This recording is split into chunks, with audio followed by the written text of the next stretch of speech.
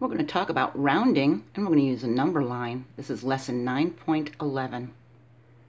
Rounding a number to the tens place means we find the 10 it's closest to and change the number to that 10.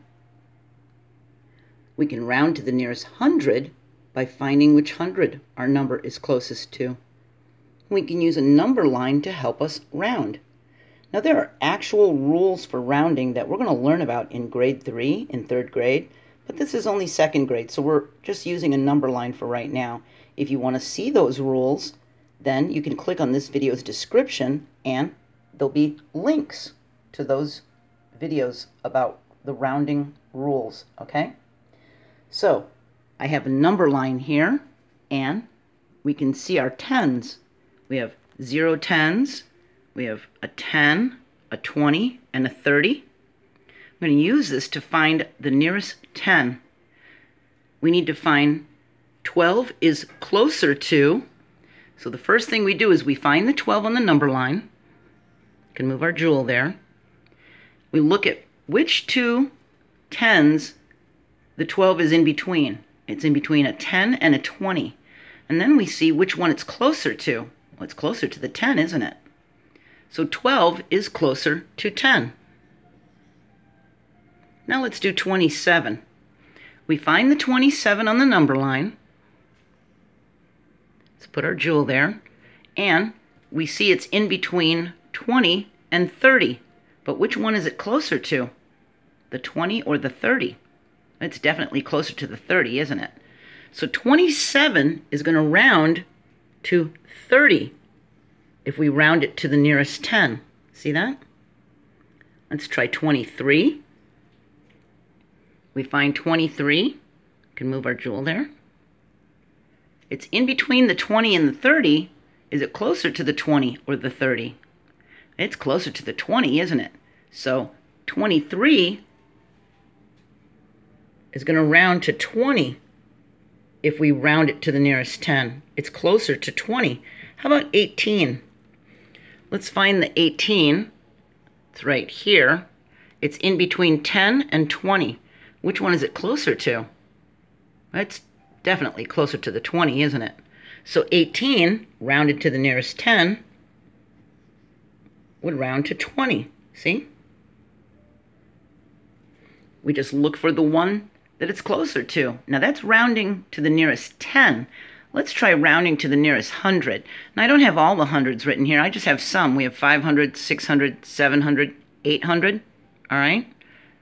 So my number line is written counting up by tens, and then you can see the hundreds. See? 510, 520, 530. Okay? So 620 is closer to what? So let's find 620 on our number line. Here it is right here. It's in between 600 and 700, isn't it? And which 100 is it closer to? It's closer to the 600, isn't it? So if we round 620 to the nearest 100, it would be 600. Let's try 530. We find the 530 on the number line. We see it's in between 500 and 600, but which one is it closer to? Definitely closer to the 500, isn't it? So 530 rounds to 500 when we round it to the nearest hundred. Let's try 790. We find 790 on our number line. It's way over here. Wow, that's an easy one, isn't it? It's in between the 700 and the 800, and it's closer to the 800. 790 rounds to 800 when we round it to the nearest hundred. Okay, sorry about the view there. All right, that 90 means it's almost to the next hundred, doesn't it? How about 590?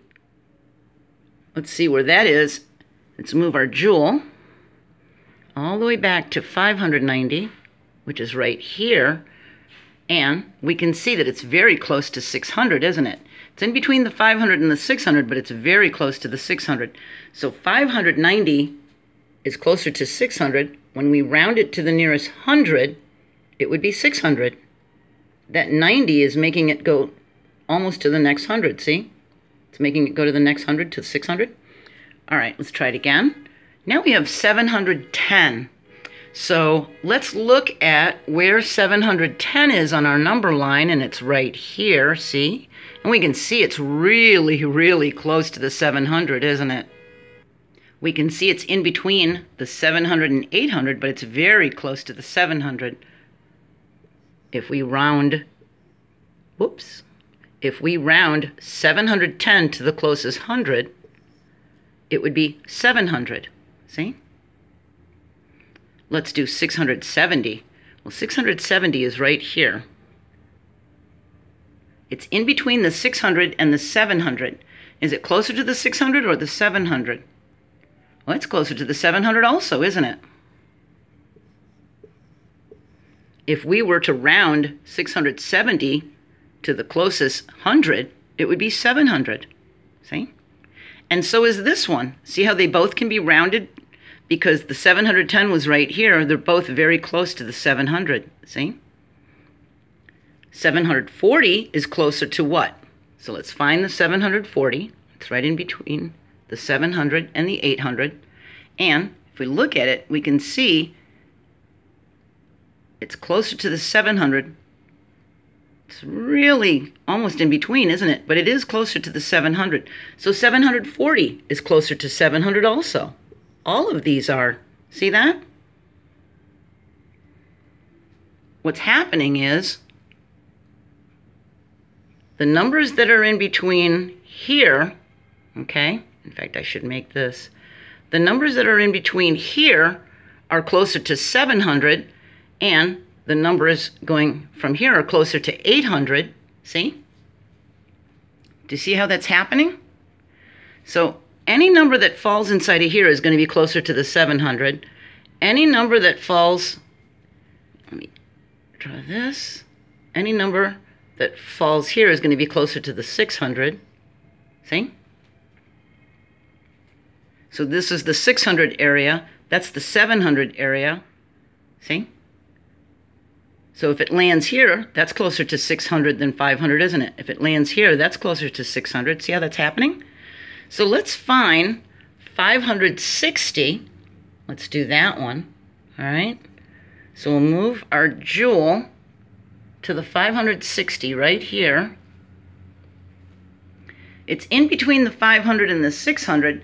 Which one is it closer to, the 500 or the 600? That's closer to the 600, isn't it? So when we round 560 to the nearest 100, it would round to 600, okay? So like I said, you're going to get into the actual rules of this when you get into the next grade. But for right now, you can use a number line to round numbers and see which one they're closer to. Okay?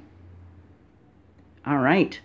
That's the end of chapter 9. We're going to move on to chapter 10 and we're going to talk about shapes in geometry and we're going to talk a little bit about fractions, not too much because we're really going to get into that in third grade, but we'll talk about it a little bit to get you ready for third grade, okay? I hope I'll see you in chapter 10. Bye.